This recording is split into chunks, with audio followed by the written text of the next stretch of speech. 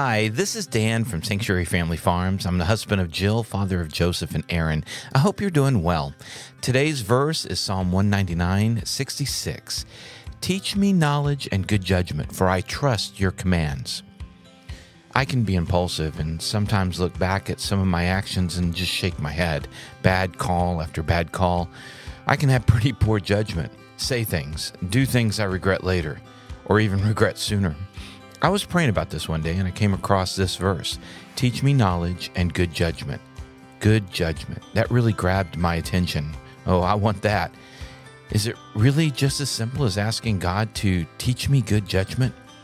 That's just the first half of the verse. The second half stood out even more. For I trust your commands. Funny word, trust. I've learned that the opposite of trust is control. Maybe trusting God's commands, giving up control, might be the first step in learning good judgment. As I go through the day, I read His commands and I know I need to trust them and give up trying to control. It's a lot of work anyway.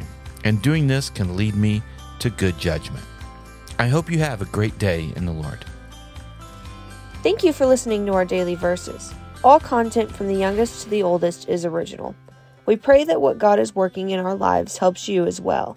Have a blessed day and remember to spread the word to those around you.